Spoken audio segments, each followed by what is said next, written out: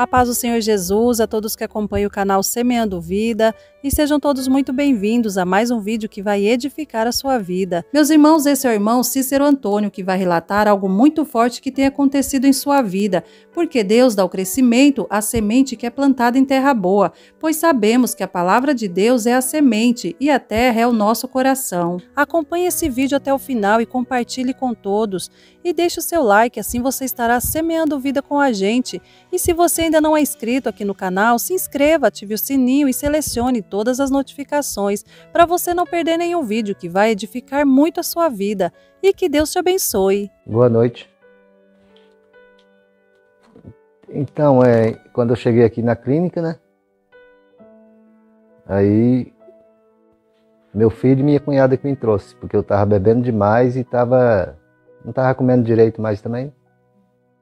Aí se eu ficasse lá mais um pouco, não sei o que ia acontecer, não.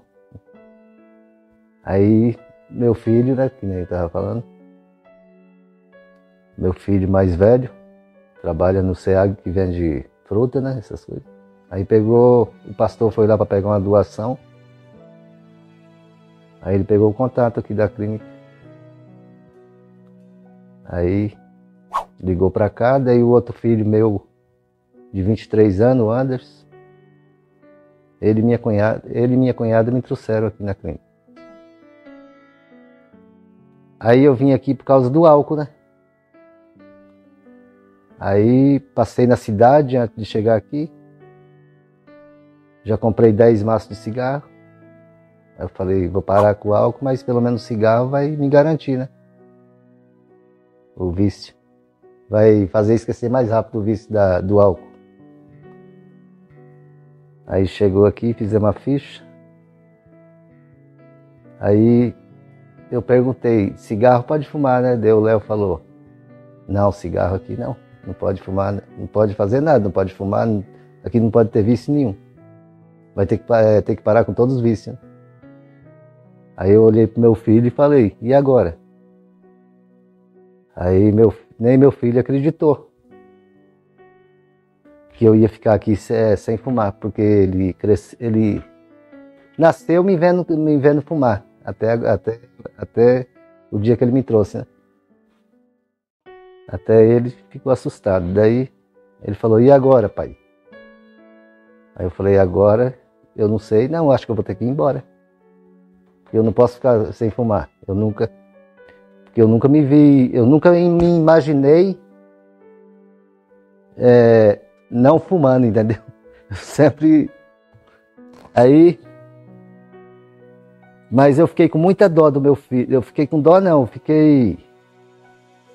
Eu fiquei triste de falar que queria ir embora de novo. Porque ele fez tanta força para me trazer aqui, para me ver bem, né?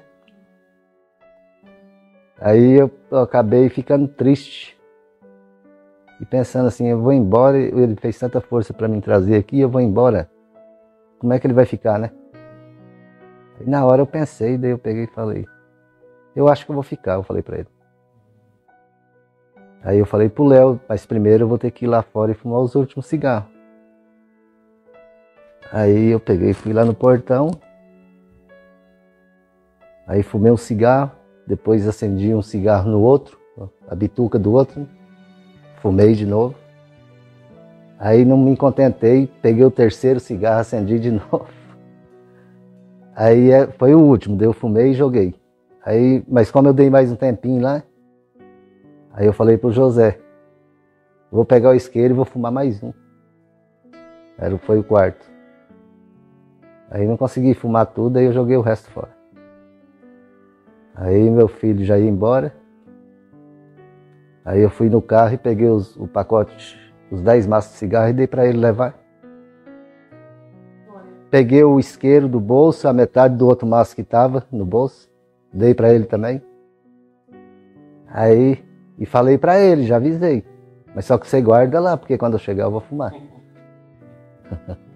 eu posso parar de beber, mas de fumar eu não vou parar não. Posso, posso ficar os sete meses aqui, mas, meu, mas você guarda meu cigarro lá, que quando eu voltar eu vou fumar. Aí, dois dias, três dias, aí eu ficava com aquele nervoso, com vontade de fumar, né? Aí quando você dá aquela vontade doida de fumar, aí você começa a chorar, você começa a pensar nas coisas que estavam acontecendo com você, entendeu? Aí vem tudo. Vem pensamento ruim, né? Por causa do vício. Aí eu saía de perto de todo mundo, ficava chorando. Chorando por causa do cigarro. Era por causa do cigarro, porque quando dava vontade que eu ia fazer isso, chorava, chorava, ficava triste. Dali a pouco tentava ficar alegre de novo, dali a pouco dava vontade de fumar, ficava triste de novo, e era assim.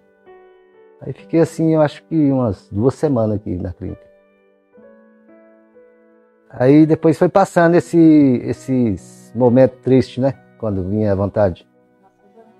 Mas mesmo assim com vontade. Até tem um fogão a lenha ali.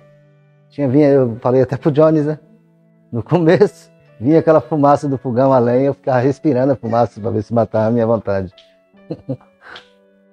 Agora eu nem ligo mais com a fumaça. Tem vezes que dá fumaça lá, eu até saio de perto, porque começa a afogar, né? Então, nem a fumaça lá já não faz muito bem. E aí foi passando a vontade. Agora eu não falar a verdade, eu tô com quatro meses aqui, mas eu não vou falar, não é vontade que eu sinto, é saudade do cigarro agora. É mania, né? Aí tem aquela lembrança, é saudade. Mas aquela vontade louca que eu tinha no começo aqui. Né?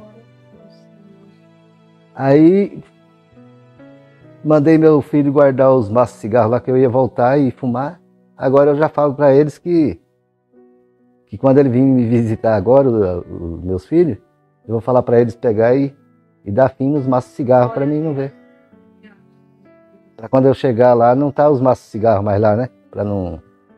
E vou continuar, eu tô sem fumar aqui, por que, que eu não posso ficar lá?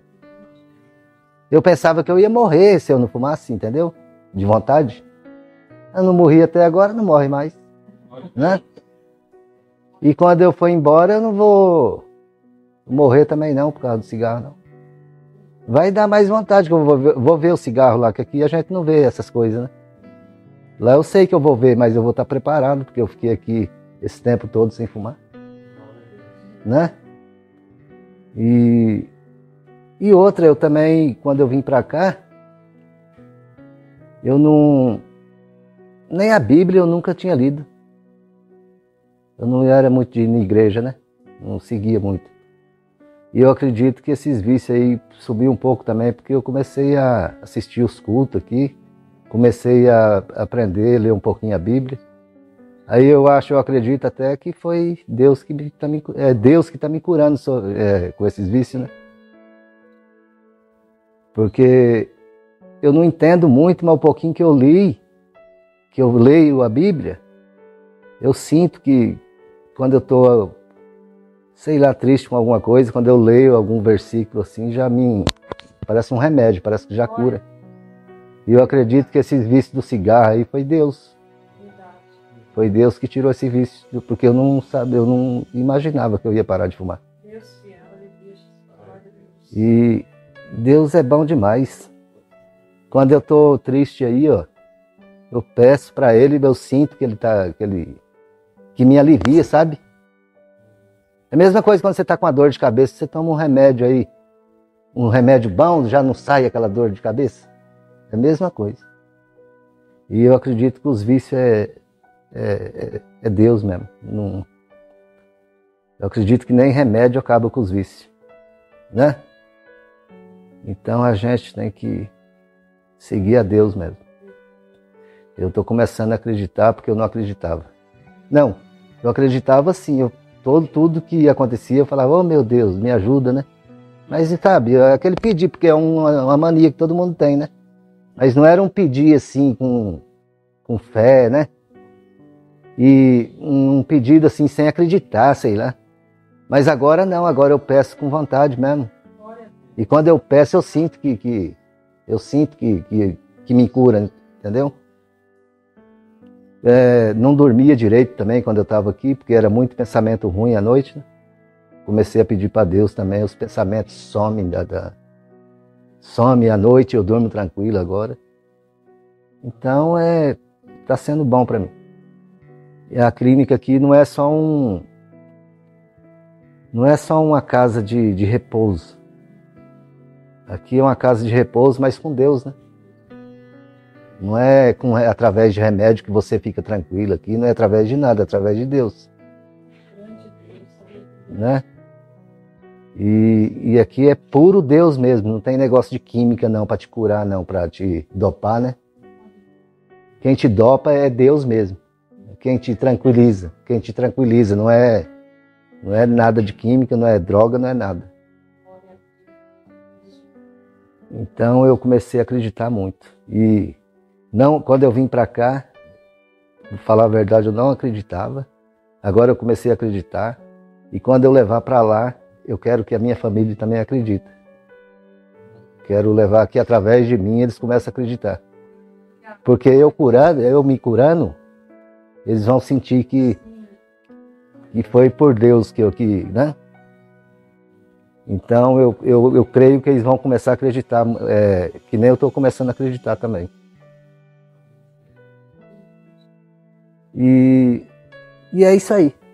E eu estou contente com, com o tratamento, né? E se alguém estiver precisando, estiver na mesma situação minha, quem escutar aí esse, esse, essa live, né? É, faz isso aí. Coloca Deus no coração, que Deus tira tudo. Porque eu não acreditava que eu ia conseguir parar de fumar. E para quem fumou tanto tempo, assim, quase 40 anos, e dentro de quatro meses já, bem dizer, não está sentindo vontade, Aleluia. É, um, é um milagre, né? E eu fico por aqui. É, por enquanto é só isso. Quando a gente tiver outra oportunidade, eu posso contar mais alguma coisa da minha vida, né? Canal Semeando Vida Deus dá o crescimento à semente que é plantada em terra boa. Deixe aqui o seu comentário, se inscreva no canal e ative as notificações para receber mais conteúdos que irão abençoar a sua vida. Até a próxima e fiquem com Deus.